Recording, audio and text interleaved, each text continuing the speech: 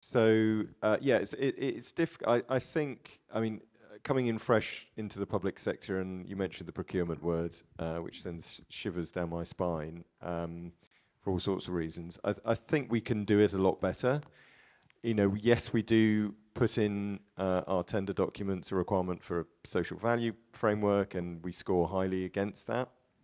But other countries do it completely differently. For example, we we had a meeting with some um, very interesting people from Vienna not that long ago who whose council, when they sell land, they sell it at a fixed price. Basically, you just got to get to a number, and then whoever whoever gets it gets it based on social value entirely. So the bid that differentiates you is one that's social value orientated, not financial orientated. And the challenge I think we have as uh, as those that work in the public estate is that there is still this look to best financial value. Um, and you all own our assets. I mean, you know, all we do is curate uh, assets on your behalf. So, um, and I'm sure you don't want us to give them away, but I do think, I'm coming back to my point earlier about capturing the real consequence of social, you know, lack of social value and lack of social action, that's where we can promote it better.